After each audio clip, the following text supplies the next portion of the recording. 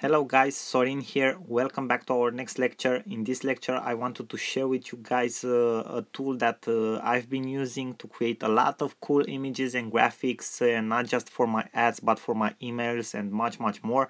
Uh, it's called Canva.com. It's a platform. It's a cloud-based software. More than that, so uh, it's a place where you can design uh, you can design your or, your own images your own graphics. They have a lot of cool templates that you can use. And uh, and it's actually very very easy to use. It's uh, it has a very good interface. It's user friendly you can access it from uh, uh, from wherever you want and uh, from uh, where you have inter an internet connection. Okay because you have uh, you have like an account okay which is cloud based and everything is saved for you there. So this is my dashboard exactly as you can see here. You can create an account very very easy because uh, you can connect with your facebook account for example.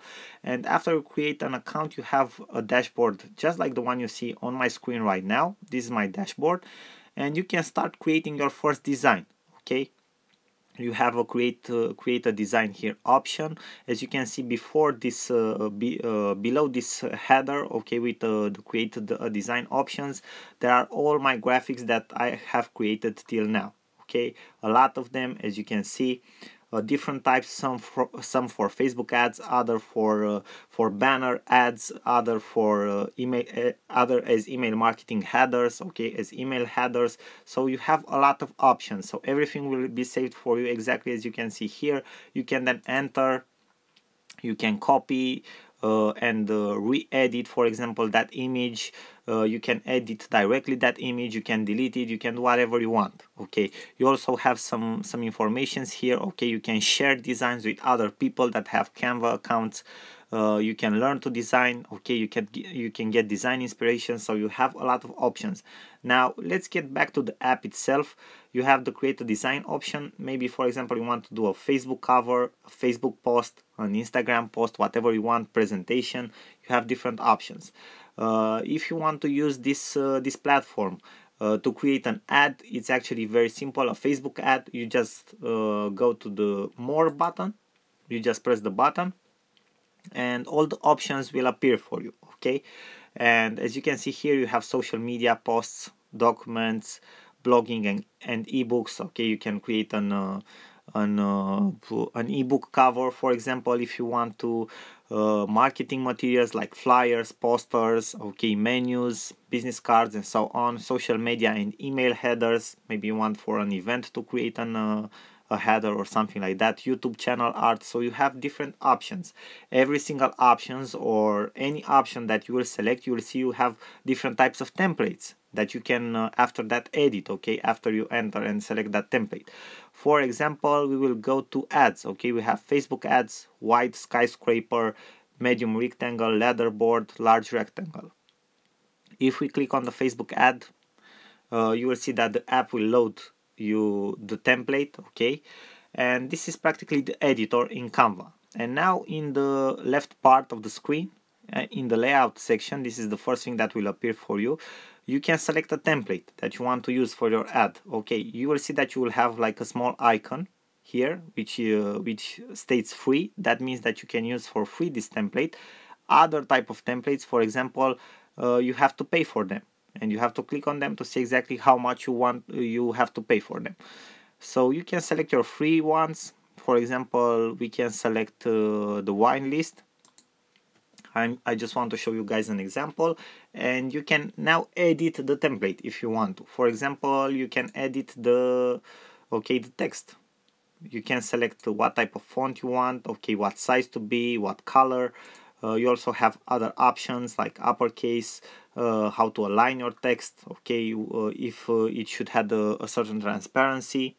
Then you have the other text which you can edit this one too uh, and then you can edit the background if you want. You can add filters to your background. For example uh, we can add like a retro filter. Okay this is how it will look like. You have advanced options okay for uh, different uh, indicators that you can set them at different values. Okay for example uh, vignette. Okay the blur the blurry okay blurred one to create a more blurred image and you have different types of options okay?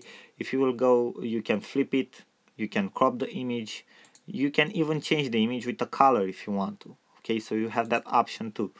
So you have a lot of options that you can use to create a beautiful background. Also uh, you can go to the background option and select a different type of background if you want to okay? You will see here that you have different types of backgrounds. Also a lot of them are free like patterns okay but you also have paid backgrounds. And most of the time any element that you will select it's uh, somewhere around one dollar okay? Uh, besides the free the free uh, the free stuff okay the free graphics. So most of the elements that you will select will be somewhere at one dollar. The rest of them probably will be for free. Uh, then you can upload your own stuff. For example as you can see here I have a lot of things that I've uploaded myself. They will all appear to you in time. They will be saved here okay like in a media library and you can select them and insert them again. For example if I will click on this icon this one I found with icon finder okay and you can make it to be like uh, uh, like uh, okay the, the background if you want to. But uh, you also have if uh, if you think that you you did something wrong and you want to go back you have the undo option okay? So it's actually very very useful and has all the options that uh, that maybe a standalone uh, software editor software would have. So it's actually very very complex. Uh, then you can go to the search function for example and here you have different different graphic elements that you can use okay to create your images. For example you have frames. Maybe you want to use frames uh, we have talked uh, that uh, that headshots for example had uh, that images uh, in Facebook that use headshots are very very popular and convert very very well. And for example you can select a frame here like this one okay? And you can upload an image in it with somebody for example okay? So you have the frame here okay? Uh, you have the headshot okay in the frame so you have different options. Then if you go okay let's uh, let's exit the frame section. If you go to grids okay a grid it's like a collage of photos okay? You can add photos from different uh, uh, you can add different photos in the same image okay? Maybe you want to do a grid a collage so you have here different templates that you can use. Then if you go to for example now they had something special for the Halloween okay with graphics for the Halloween. Then you have different illustrations that you can use okay different icons or not just icons vectors that you can use okay? So all the time they upload uh, they uh, they update this stuff and they add more stuff that you can use for for your images. For example you can add this uh, this globe okay? It's very nice. Maybe you want to do something like uh, you have like a tra travel agency and you want to to use this in an image for I don't know an offer or something like that. So you have different types. You can even search here okay? You have different different cool graphics that you can use for your images. So Canva it's absolutely stunning in my opinion.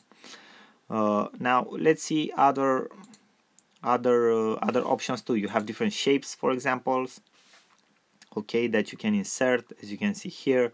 You have lines okay different types of lines okay dotted uh, I don't know dotted okay like a graphic uh, uh, lines okay arrows and stuff like that. You have a lot a lot of options.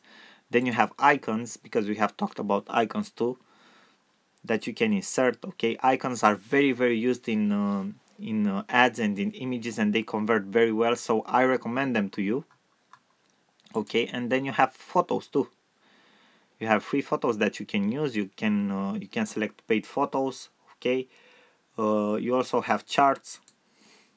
For example different types of charts that you can use. Maybe you want to do a presentation or something like that uh, or maybe you want to to point out something. You just change its name if you want to okay? And after that you just uh, you just press the button download to download the image to your computer or you can share the image if you want directly to your Facebook.